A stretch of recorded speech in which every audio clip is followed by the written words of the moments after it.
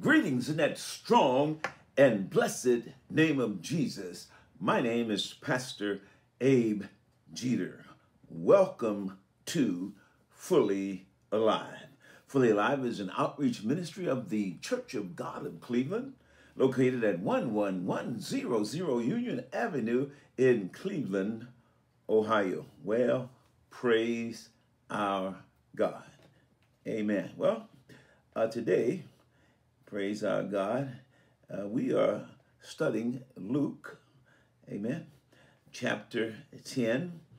And uh, a few weeks ago, um, as we studied Luke chapter 10, we found that Jesus sent out the 70.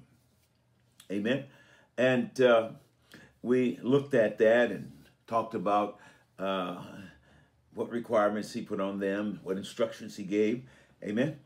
And then, of course, we continued to study and we found out at some point Jesus began to pronounce woes on unrepented cities. Okay. Um, and uh, of course, then last uh, time we studied Luke chapter 10, um, we see that the 70 returns rejoicing, okay? He sent those 70 out, gave them instruction, and then later on in the chapter they come back rejoicing that even devils are subject to us in thy name. And we looked at that and brought out several points. Uh, today, um, our focus, amen, will be on uh, Jesus rejoices and praises God for revealing his truth to babes. And uh, and then we're going to go into the good Samaritan, uh, Samaritan, the good Samaritan. Well, praise our God. Okay, so we're going to start with Luke chapter 10, verse 21. Luke chapter 10, verse 21. Amen. In that hour, Jesus rejoiced in spirit and said, I thank thee, O Father, Lord of heaven and earth, that thou hast hid these things from the wise and prudent, and hast revealed them unto babes. Even so, Father, for it seemed good in thy sight. Amen. Jesus rejoiced in spirit. In his human soul, one commentator said, some translations render in the Holy Spirit. Jesus rejoiced in the Holy Spirit. Well, praise our God. Well, why did he rejoice? Well, he was rejoicing in his Father's will, according to scriptures here. God the Father had chosen to reveal his heart, his plan that was in his heart from the foundation of the world. He had decided to reveal it to babes and the foolish. He has chosen to reveal revelation knowledge to babes or to those considered by the religious elite not very wise or even worthy of God. He has hidden his truth, revelation truth, from those who saw themselves as wise and prudent from this world standard. Okay?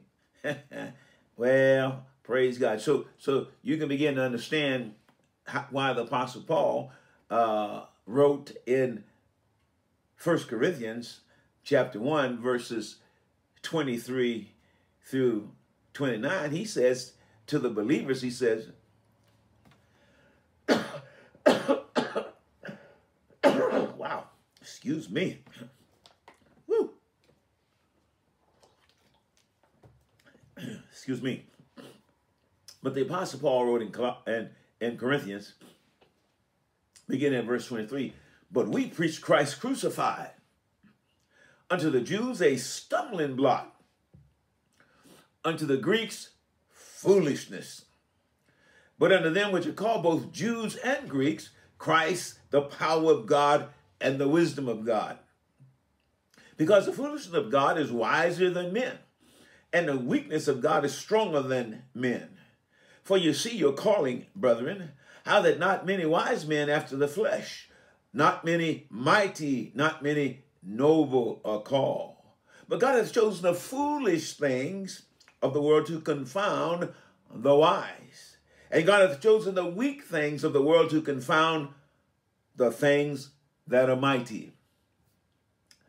And the base things of the world and the things which are despised hath God chosen, yea, and the things which are not to bring to naught things that are, that no flesh should glory in his presence. Well, praise our God. In particular, in particular, verse uh, 26, for you see your calling, brother, brethren, how that not many wise men after the flesh, nor mighty, nor many noble are called. Well, praise our God. Amen.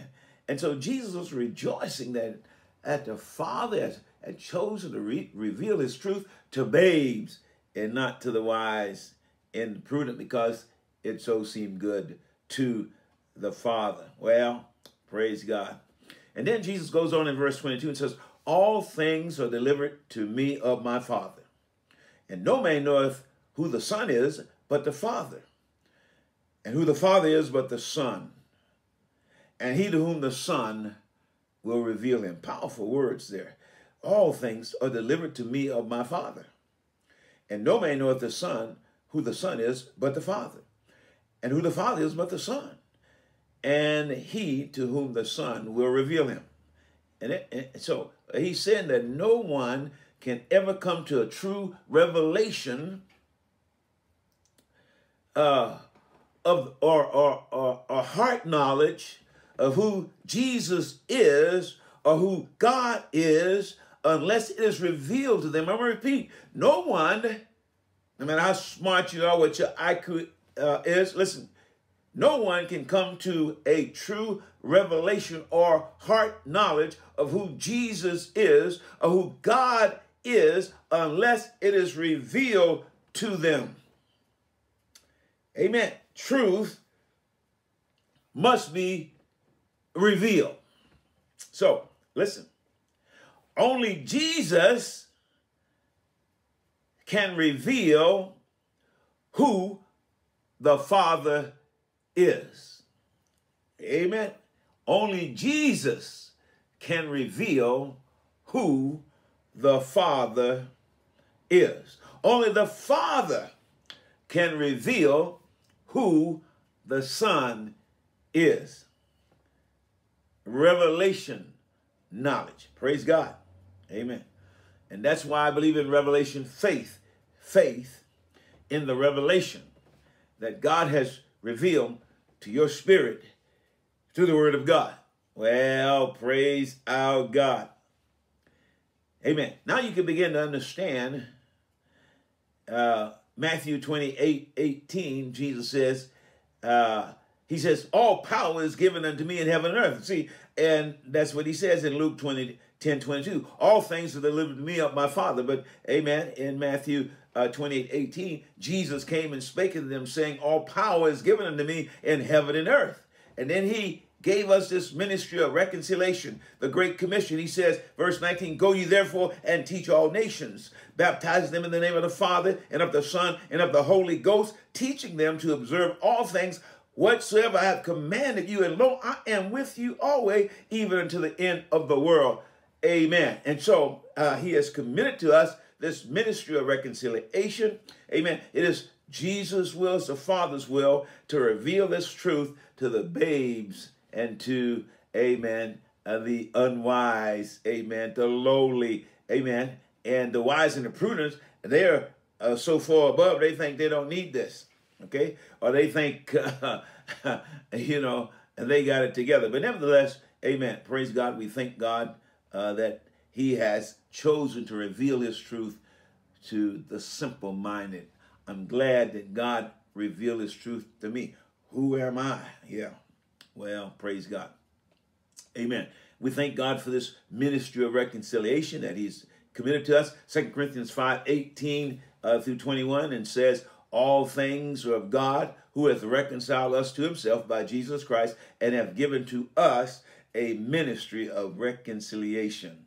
To wit, that God was in Christ reconciling the world to himself, not imputing their transgressions, their trespasses unto them, and hath committed unto us the word of reconciliation. Now then, we are ambassadors for Christ, as though God did beseech you by us. We pray you in Christ's stead, be ye reconciled to God. For hath, he hath made him to be sin for us, who knew no sin, that we might be made the righteousness of God in him. And so we thank God that uh, he has chosen to reveal these deep truths, that which was in his heart before the foundation of the world, to the babes and the foolish. Amen. Well, praise our God. Amen. And so, after saying all this, uh, Jesus then turns to his disciples and he makes this profound statement. And he turned unto his disciples and he said privately, Blessed are the eyes which see the things that you see. Amen. Blessed are the eyes which see the things that you see. For I tell you that many prophets and kings have desired to see the things which you see and have not seen them, and to hear the things which you hear and have not heard them. Mine, mine, mine, mine, mine. And that applies to you and I. Yeah. May God help us to appreciate, to value eh, the things that are God's. Listen, listen, listen. The things that He has revealed to us. Amen. May God help us to appreciate uh, what God has revealed to us, His, His heart. Listen.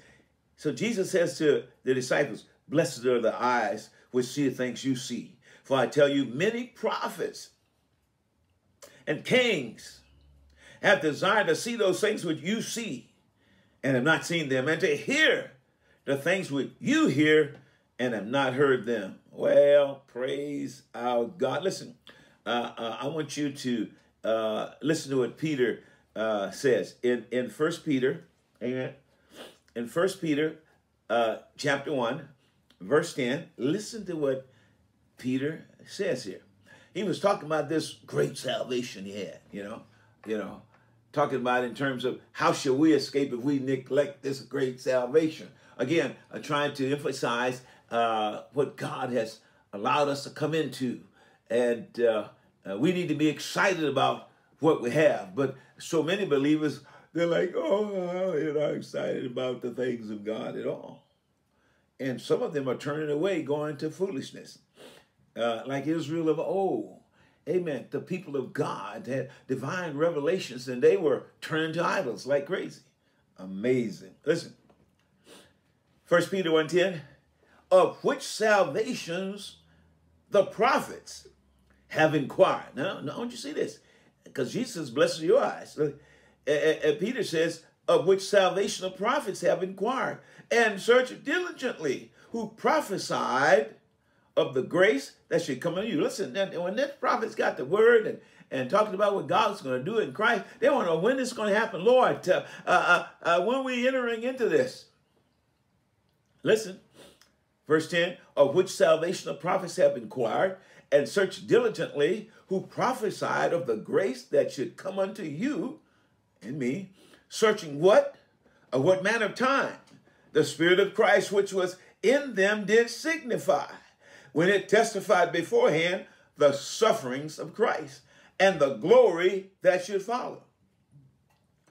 Verse 12, unto whom it was revealed that that not unto themselves, but unto us they did minister the things which are now reported unto you by them that have preached the gospel unto you with the Holy Ghost sent down from heaven, which things the angels desired to look into.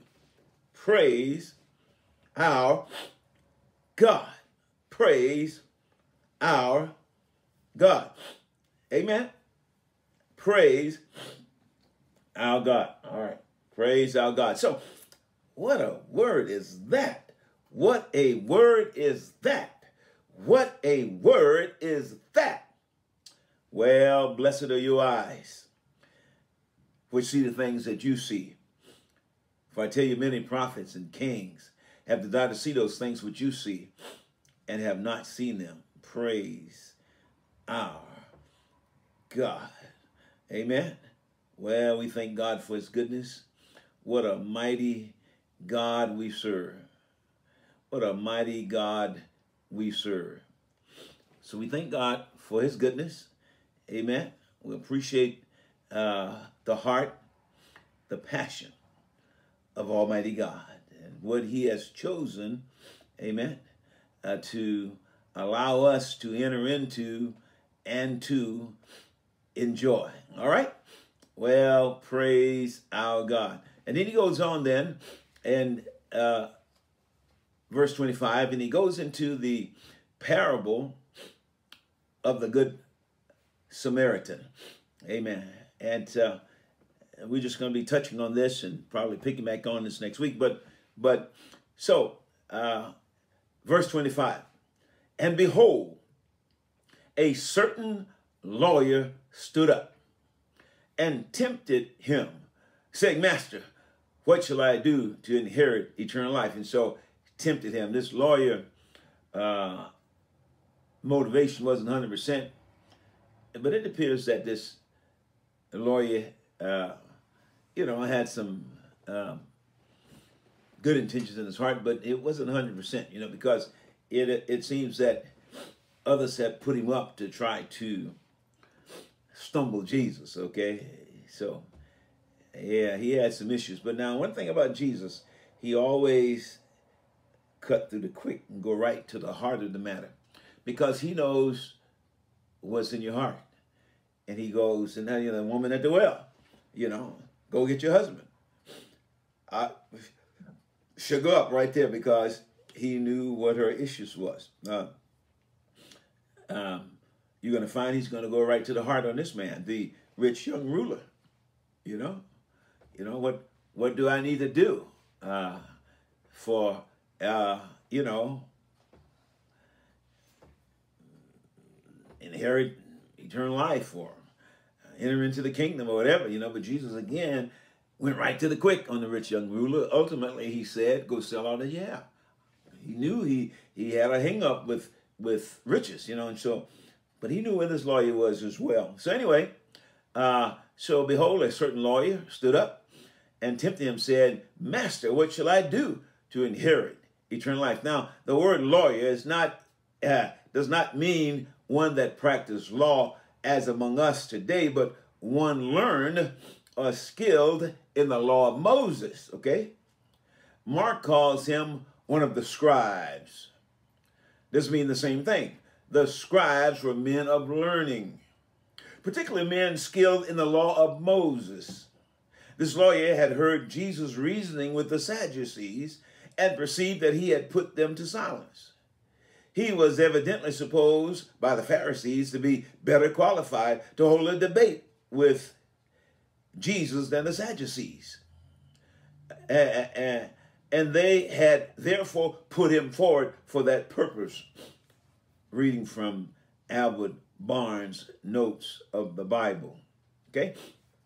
So, but anyways, it's an interesting question that the lawyer asked him, What must I do to inherit eternal life?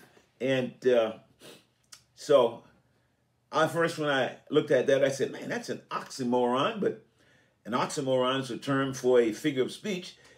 It is made up of two or more words that seem to be opposite to each other or actually are opposite. Okay. Uh, for example, the words wise fool, you know, or warm freeze and so forth. But, you know, but I suppose this may not be an oxymoron, but nevertheless, uh, you know, uh, what must I do implies works. Now, I mentioned the, the rich young ruler in Matthew 9, 19, 16, because his question was, what good thing shall I do that I may have eternal life? What good thing that must I do that I may have eternal life? And this lawyer is asking, Amen, uh, what must I do to inherit eternal life? Well, so so uh, what must I do implies works or earning. Uh, to inherit implies, on the other hand, a gift or a blessing uh, to become an heir. This lawyer lived under the Mosaic law, a system of works, and so he would naturally think in terms of what must I do to earn, or the rich young ruler, what good thing must I do to, you know, enter into, uh, that I may have eternal life. Now, but since Jesus, the light of the world, has come, we understand that we can't really do anything to earn eternal life in and of ourselves. Now, there's a balance here, okay? Because there's two major schools of thought. There is the Calvinistic school of thought that God had preordained a certain few to be saved, and the grace of God is irresistible to them. They can't help themselves. They must be saved, and that man is totally, totally, totally lost, and therefore, amen, uh, hopeless, and uh, and God have to do it all for him. The, the, the, the other school of thought would be the uh, Wesleyan holiness or Arminianism. But the, the thing is, uh, uh, you know, obviously they, they both talk in terms of repent, believe, receive the gift of God. But but uh, in the Wesleyan holiness uh, thought or school of thought, we believe in uh, prevenient grace. Okay, amen. Uh, we believe that uh, God values to the will of man. It's it is important that uh, uh, man can exercise his will. God want man to exercise his will. God will work with man to exercise his will because uh, God values uh, his ability uh, to choose. But nevertheless, and so uh, so obviously we have to repent, believe, and receive the gift of God, Jesus, into our heart. Okay, but we believe in a prevenient grace. Prevenient grace is a phrase used to describe the grace given by God that precedes the act of a sinner exercising saving faith in Jesus Christ. In other words, you know, God uh, uh, uh, supplies grace uh, for you to exercise your will, uh, to uh, make a conscious decision and receive Jesus Christ. God provides grace for you to repent. Okay? Well, praise God. And uh, under the Wesleyan holiness, holiness thought, we believe that uh, salvation is open to all. Okay, whereas under the Wesleyan thought, uh, salvation is for a few who are already preordained, who cannot resist the gospel and can never fall away, regardless.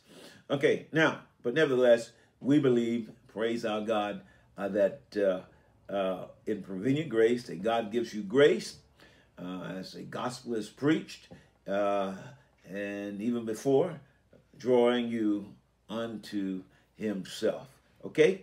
And he gives you the ability uh, to believe, uh, to repent, and receive. But like I said, no one in themselves, uh, of themselves, can, in that sense, though, uh, come to do anything that can earn salvation because salvation is based on the finished work of Jesus Christ. And as the song said, Jesus paid it all. Okay? So praise our God. Uh, in Christ, that's the plan that God had before the foundation of the world.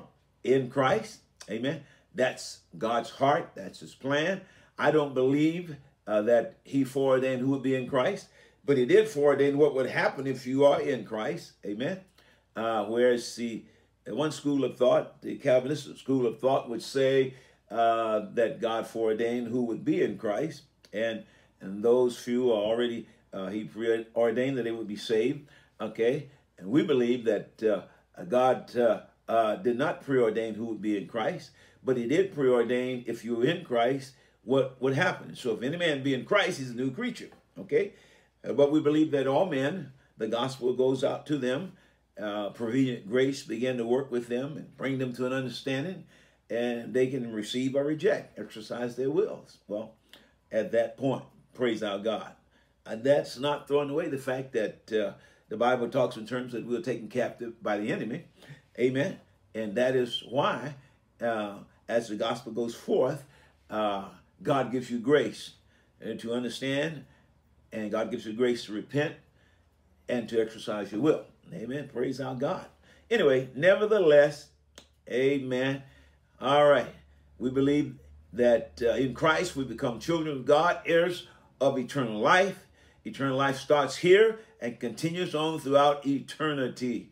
Praise our God. And so, uh, so the brother come to Jesus and said, uh, what must I do? Amen. To inherit eternal life. And Jesus then, praise our God, responds uh, uh, to him by saying, uh, what say the law? Okay. Uh, uh, when the rich young ruler came in Matthew 19, he, he began to say, you know, obey the law. Uh, the guy says, which? you know, these guys. Uh, so this brother, uh, he goes, uh, Jesus says in verse 26, he said unto him, What is written in the law? How readest thou? And he answered and said, Thou shalt love the Lord thy God with all thy heart and with all thy soul and with all thy strength and with all thy mind and thy neighbor as thyself. Praise God. What an answer. Uh, yeah, he was quoting from Deuteronomy uh, chapter 6, verse 5. And thou shalt love the Lord thy God with all thy heart and with all thy soul and with all thy might. And he was quoting from Leviticus uh, 19, 18. Thou shalt not avenge nor bear any grudge against the children of thy people, but thou shalt love thy neighbor as thyself. I am the Lord. Amen. So, nevertheless, it was a great answer, and Jesus responded. Amen. Uh, let them know indeed it was a great answer. Praise our God. Amen. You can read more about uh, this whole uh, exchange in Matthew 22, uh, 34 through 40, and Mark 12, 28 through 34. But anyway, and uh, but let's just uh, break some of that down. I got about a minute and a half. Listen. All right. Uh, thou shalt love the Lord thy God with all thy heart the meaning of this is thou shalt love him with all thy faculties or, or powers. Thou shalt love him supremely more than all other beings and things and, and with all uh, uh, the odor possible. Uh, to love him with all the heart is to fix the affection supremely on him more strongly than anything else and to be willing to give up all that we hold dear at his command. Okay, I'm reading from the Amen. Uh, uh, uh, Albert Barnes, okay, notes on the Bible. Amen. Uh, let's see. I'll give you one more. Uh, with all my soul or with all thy life means to be willing to give up the life to him and to devote it all to his service and to live to him and be willing to die uh, at his command. Okay? With all my mind, all thy mind. To submit the intellect uh, to his will, to love his law and gospel more than we do the decisions of our own mind, to be willing to submit all our faculties to his teaching and guidance, and to devote to him all our intellectual attainments and all the results of our intellectual efforts. Amen. Uh, with all thy strength. Amen.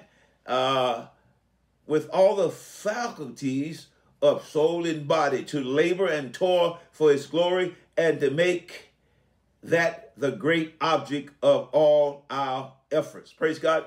And uh, those thoughts, as I said, was from Albert Barnes' notes on the Bible. Praise God. Now we're going to pick up uh, next week on the Good Samaritan. Well, God bless you and keep you. His face, shine his face upon you. Amen. God bless. Amen. We love you.